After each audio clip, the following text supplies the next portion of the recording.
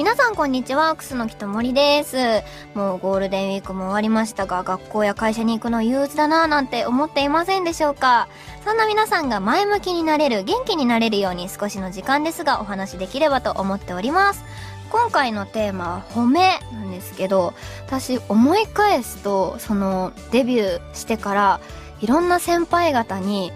褒めて育てていただいたなっていうのをすごく感じていて、なんか当時は自分もいっぱいいっぱいで、でもそういった中でやっぱこう褒めていただくことで自信につながったりとか、じゃあ今日こういう反省点あったけどいいところもあったなら、こう次も前向きに頑張ろうっていう風にこうスイッチの切り替えをできていてでもそれって本当に当たり前のことではないし本当に素敵な先輩方に恵まれていたんだなっていうことをまあちょっとあれですけど今になってより実感しているというかもう本当当時はいっぱいいっぱいだったのでもう全然それどころじゃなかったんですけど今になって、まあ、自分もその現場で後輩と一緒にこう現場に立つことも増えてくる中であ自分は後輩にこうどんな風に声をかけてあげられるかなみたいになった時にあ自分は先輩からこうしていただいたなっていうのがこうふとこうたくさん出てくるっていうのがすごくこう恵まれたことだなと思います。なんかそれは演技に関してだけじゃなくてあのーまあ、新人で初 MC が10時までの締め切りなのに MC を一人でやらなきゃいけなくてやばいどうしようって結構緊張していた。あれ17歳ぐらいですかね。ことが。あったりとかあと、まあ、そのもちろんねなんかその主役としてメインでいろんな先輩方と現場に立つっていうのもすごくこう、まあ、失敗もなかなかしづらい状況下でたくさん失敗してしまってっていうところもあったりしたけど本当にどの先輩も「いや大丈夫だよすごく頑張ってるよ」とか「ここ良かったよ」っていいところを見つけてひたすら褒めてくださったっていうのが私にとってはやっぱ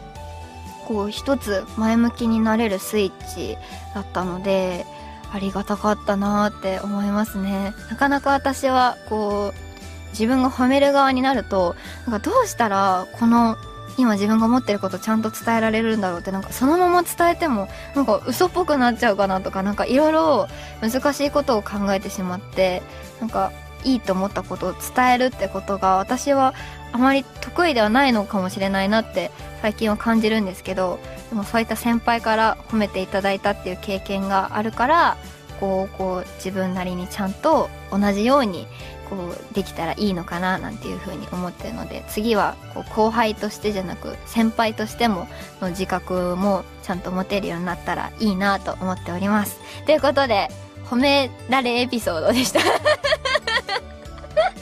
はい、えー、本当に先輩方ありがとうございます。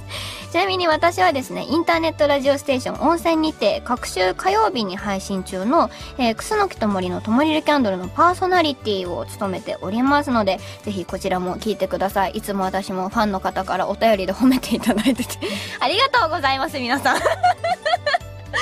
持ちが前向きになって収録をいつも終えられております。ありがとうございます。はい。ということで、引き続きこちらの CD お楽しみください。お相手はクスのきたもりでした。バイバーイ。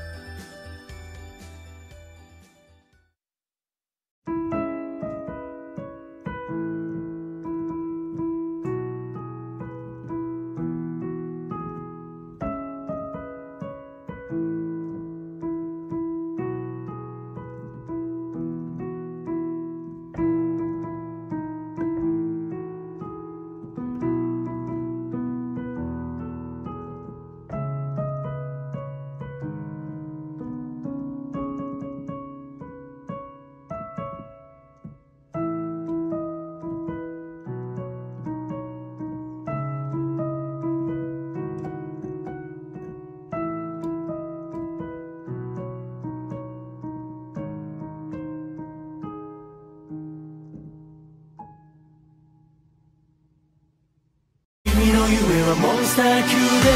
胸の檻ぶっ壊しては飛び込むよ Go to hell と書いたパラダイス It's something dangerous dangerous We like it serious serious